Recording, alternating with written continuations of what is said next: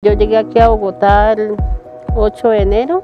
Vengo desplazada del norte de Santander. Tengo tres hijos. El mayor tiene 14 años, el que le sigue tiene 12 y la niña tiene 10. La niña presenta una condición de discapacidad tiene retraso psicomotor. Desde el servicio Atrapasueños trabajamos la reparación integral desde la garantía de los derechos de las niñas y los niños y eso implica trabajar de la mano con sus familias, con sus cuidadores, en este caso con, con la jefe de hogar. Me han brindado acompañamiento, conocí el programa de Atrapasueños, ellos me han brindado mucha información, le han brindado acompañamiento a mis hijos. Atrapasueños lo conocí cuando llegué acá a Bogotá en enero y llegamos a Chapinero a una casita también esto así y ahí conocí a Atrapasueños. Nos ayudaron con el albergue donde nos quedamos casi una semana y nos ayudaron con los cupos de la escuela.